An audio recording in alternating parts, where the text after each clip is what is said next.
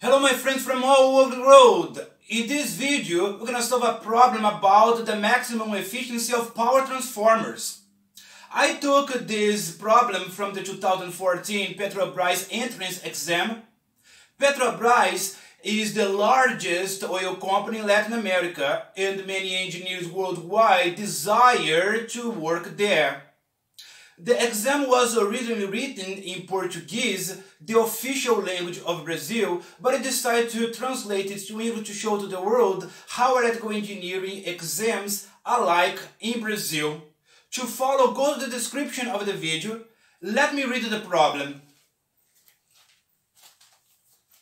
The maximum efficiency of transformers, Petrobras 2014, question 23. In a petrochemical plant, a transformer with the following characteristics was installed.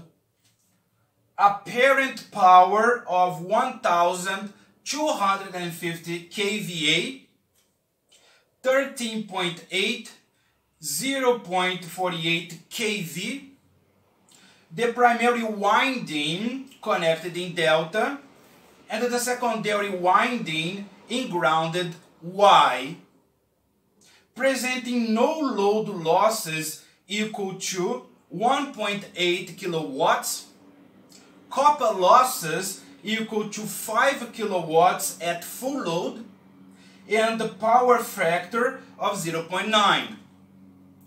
What's the load value in kVA for the maximum efficiency of this transformer?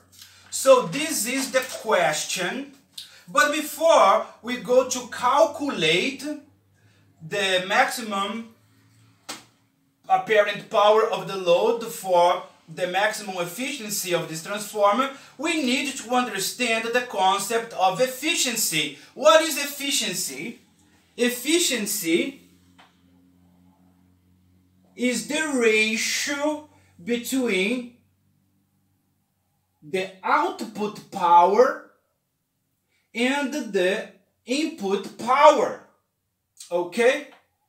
The output power in terms of the output current is V2 I2 times the cosine of the angle. And the input power is V2 I2 times the cosine of the angle plus the core losses plus the copper losses. But the copper losses depend on the output current. So it's going to be I2 squared times the resistance of the copper wires. Okay, the maximum efficiency, we want to maximize this. How do we do that? How do we maximize the efficiency? We take the derivative, the derivative with respect to the output current of the efficiency has to be equal to zero when we make the derivative of the efficiency with respect to output current equal to zero, we maximize the efficiency. Do you guys get it? Okay. And if we take the derivative of this expression here, I'm going to let you try it, but I'm going to tell you in advance that it means that the core losses have to be equal to the copper losses. Okay? You are going to develop this derivative and you are going to reach this conclusion here that when the core losses are equal to the copper losses, we have maximized the efficiency of the transformer. Okay? Now that we know this, we have to understand how we are going to use this concept here.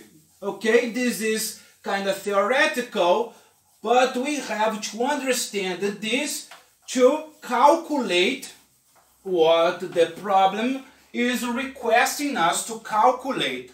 Next, after discovering this, we need to additionally uh, differentiate some things related to the output current and the copper losses. For example, if I call PCUFL the, the copper losses at full load, okay, if I call this the copper losses at full load, and if I call this x squared PCU, this is going to be the fraction of the copper losses at full load of our interest because we are not interested in the copper losses at full load. We are interested in the fragment, in the portion of the copper losses at full load and yx squared? x squared because this power, as we saw, PCU, is proportional to the square of the output current and the resistance of the copper wires. So this x squared is going to represent the fact that this power is dependent on the square of the output current.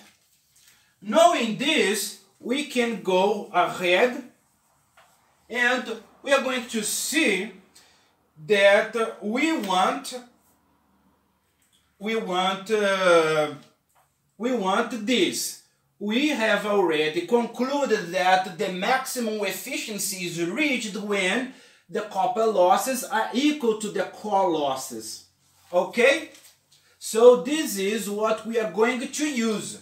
So we want this portion here not the uh, copper losses at full load. We want this portion here to be equal to the core losses. So x squared times p cu fl equal to p core. Okay? So ultimately we're going to reach that x is going to be equal to p core over p cu fl the square root of it. So this uh, factor here, the x factor, is equal to the square root of the ratio between the losses in the core and the losses in the copper wires at full load. Okay, so how do we use it?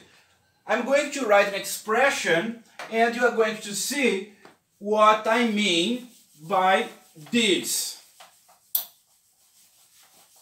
Okay, so the apparent power of the load that's going to make this transformer work in its maximum efficiency is going to be equal to the, the apparent power of the load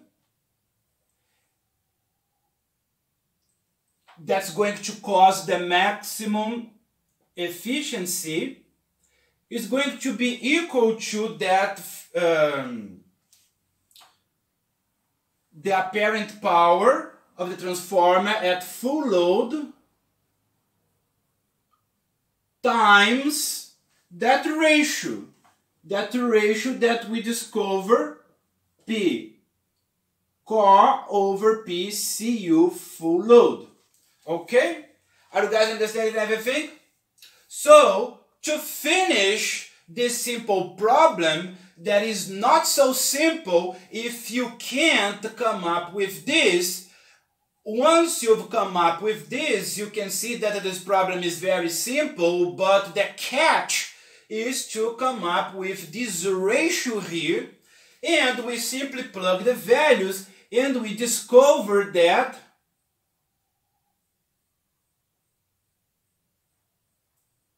the maximum efficiency is going to be reached when 1250 kVA times the ratio between the core losses, which will be 1.8 kilowatts, and the copper losses 5 kilowatts.